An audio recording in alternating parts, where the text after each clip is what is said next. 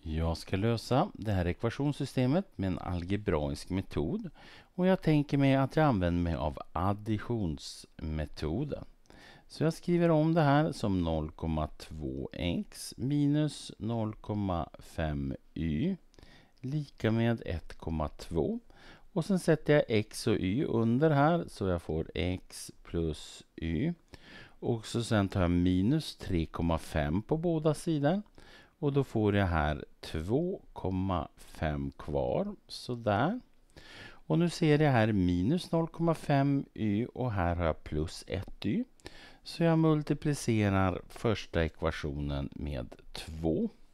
Och då får jag här 0,4x minus 1y är lika med 2,4. Och så får jag x plus y är lika med 2,5. Och så sen adderar jag ihop det här då.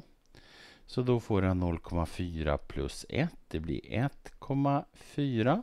De här två tar ut varandra så att jag har bara 1,4x här på vänstersidan. Lika med 2,4 och 2,5. Det här blir 4,9 sådär. Så, och nu när jag kommit så här långt då får vi ta och se vad ett x är. Och då tar jag och gör så här att jag tar och dividerar båda sidorna med 1,4. Så jag får då att x är lika med 4,9 genom 1,4. Och det här då, det kan ju vara lite svårt att lösa. Så jag tar och multiplicerar båda sidorna med 10. Så får jag att x är lika med 49 genom 14. Och nu är det så här att talet 14 det är delbart med 7. Och talet 49 det är delbart med 7.